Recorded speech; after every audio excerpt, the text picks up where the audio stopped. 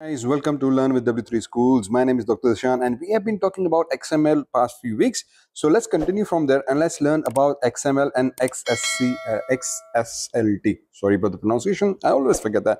Anyway, so in previous sessions, if you've been following along, we did talk about this XPath, DOM, parser and HTTP requests. And I already have a detailed video covering all these XML concepts.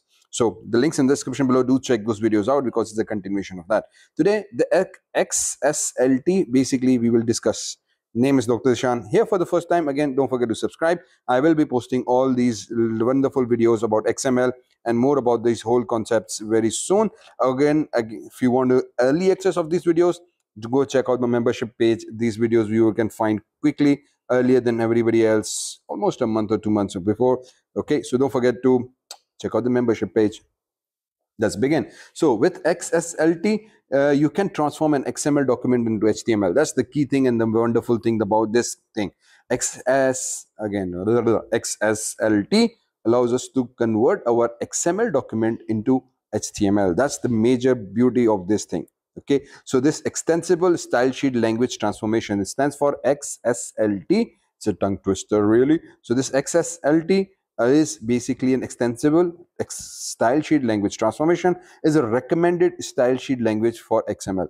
So it works like an CSS for HTML, right? So if you can consider that, so it's but it's for XML. So using this, you can convert your XML document into what we call HTML web page. Wonderful, right? Very easy, very simple. So how do we do that? X, XSLT is more sophisticated than CSS though. See, so it is more complex, more sophisticated. With this XSLT, you can add or remove elements, attributes, or from output file okay? So meaning that uh, with css it's only used for primarily what we call design purpose. So it cannot actually uh, add delete html content.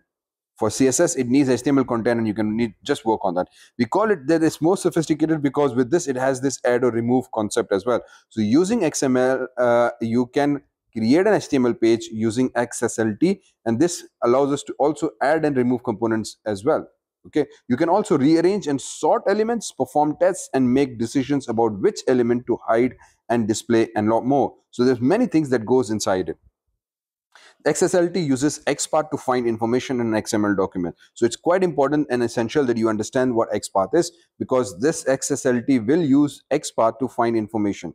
We have talked briefly about XPath already in my previous video and we're going to talk a little bit more in depth a whole full course of XPath is about to be released hopefully by next month. And if you want early access again do check out the membership page. You can find the video already there now, let's try to do this example of XM, XSLT. So we will use the following XML document. Again, a standard XML document we have in which we have a root menu called breakfast menu. We have an element called food and it contains various different sub elements. Again, food, food, food. So we have a breakfast menu and it contains various different XML elements. Now, the task is to convert this into what we call an HTML. To do that, we use XLT to transform the XML into HTML before it is displayed to the browser. So before it's sent to the browser, actually we need to convert it into HTML. Otherwise, it's going to just render the same XML file.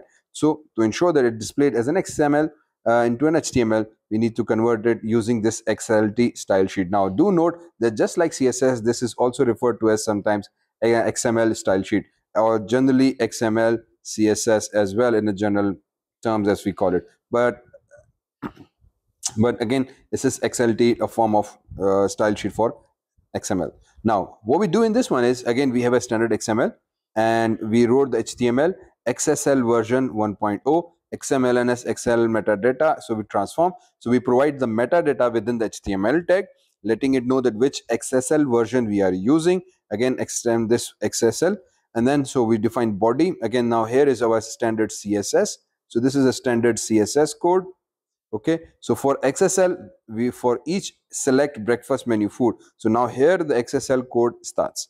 This is saying that uh, if i just delete this so that i can rewrite it. So here is our extended xsl code. What this is doing is that it says for each select breakfast menu food item. Now within the first line we are telling that i am using the xsl colon for each is the loop that we use. Again in xml they we have just the structure but using xsl it because it's more powerful it's able to transfer uh, transverse and uh, transform various different elements within xml so we are using loops to do that So we are using loops to traverse each element. That way, with a small piece of code, we can completely traverse a very long XML document as well. So this for each is a loop that will traverse through each element. Okay, so we say select breakfast menu food. What does the breakfast menu is? So if you check the breakfast menu inside this, you will find that we have food but before the food we have the root element called breakfast menu. So this breakfast menu root element has been specified. Inside the this we have a food element.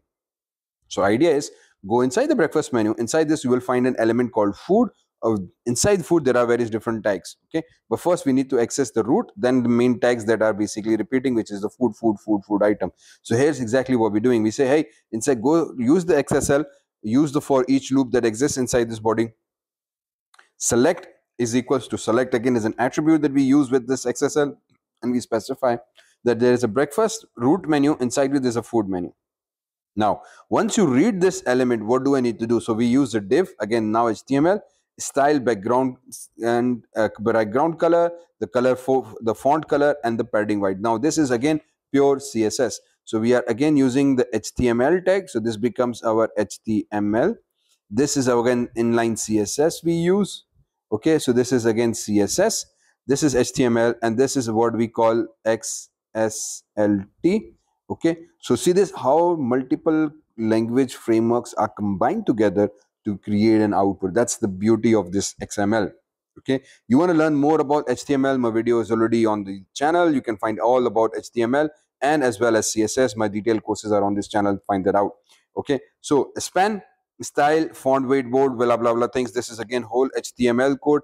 This is again where the xslt starts. So how the mixture is there how we combine html with xml XS, xsl is a wonderful feature that you need to follow so now here what we're saying is that in xsl colon value of now value of is again another function that is used to traverse the elements inside our food so we say select name and then we XSL value of select price and div close. So now we're going to print all these things together. So we're going to say div paragraph XSL value of description span and then again use whatever way you want to present it. Again XSL value of select calories. So now here are four main things that are basically being used.